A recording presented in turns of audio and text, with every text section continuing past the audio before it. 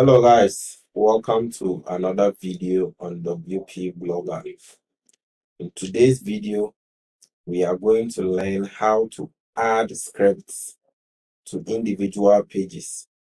If you're a marketer and you want to use Facebook pixels to track individual pages, you want to use Google Remarketing to track your thank you pages, or you have a, a, script, a target script from, for example, ClickMagick, and you want to track all the pages in your WordPress site, this is the video for you.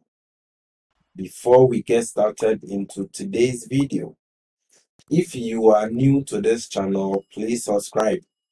Enable the notification bell to receive alerts anytime I release one of my awesome videos. Smash the like button. Give me the thumbs up. It means a lot to me. Don't forget to share this video with your friends. If you have any questions, suggestions, or feedback, leave them in the comment box below. I do well to reply every comment on this channel. Now let's get started into today's video. Like I was saying, there are many scripts out there we use to track a website or a web page performance. Some of them are ClickMagick, Google Remarketing, Facebook Retargeting, Facebook Pixels. You just want to check what is happening on your thank you pages, on your add to cart pages, all your important pages. This is the plugin for you, and this is the solution for you. So watch this video step by step as I show you how you can achieve this. Now come into your WordPress dashboard here and go to plugins and click on add new. Let's search for Sojo, S-O-J-O, add script to individual pages and individual pages header and footer. Individual, not the whole site, but the individual pages. Let me click on install now. And let's click on activate. Once our plugin is activated, let's add a page. I already have some pages, so let's go into all pages here. I've already created a default thank you page here. Let's view this page. For example, somebody comes, make an order on our site, and once the order is successful, we want the person to come to this thank you page. So we just have the title and we are saying thank you for your order. Let's edit this. So this is our thank you page. We want to track all visitors who land on this page. As marketers, we should be able to track everything that is happening on our site. So we want to be able to track what is happening here.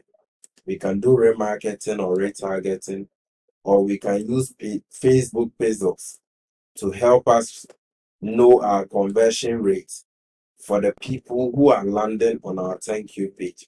So this is how you do it. Add a page and then inside your page you insert your script. So we are just going to edit this page here.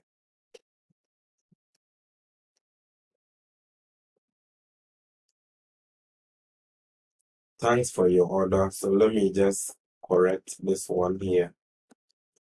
So for example, you have a Facebook pixel. If you are if you are to insert the pixel into the header of the page, paste it here. If you are supposed to insert it to the footer, paste it here.